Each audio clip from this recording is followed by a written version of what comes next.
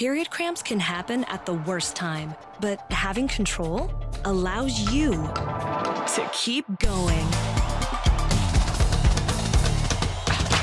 Take control of your cramps. Now in select stores.